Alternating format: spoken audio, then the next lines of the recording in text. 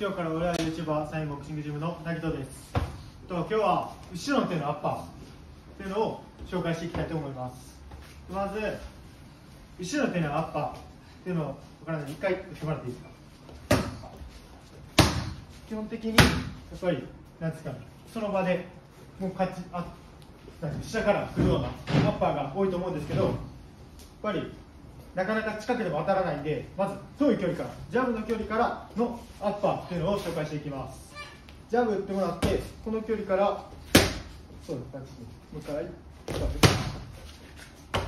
このような感じでもう上に上げるというよりまっすぐ相手につくようなつくようなアッパー。でジャブ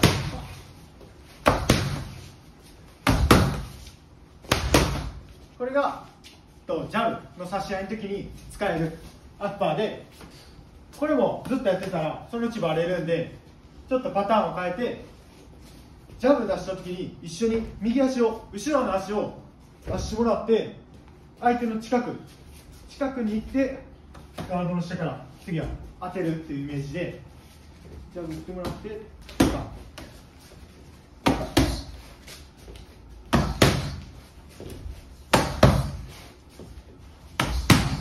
この感じで、えっと、まずは長い距離でアッパージャブの差し合いの時にジャブアッパー感じでちょっと見しといてもらってもうちょい前に行きましょう。前に。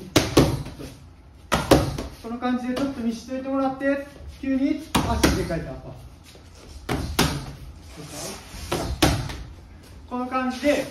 このパターンを使ってやってもらったら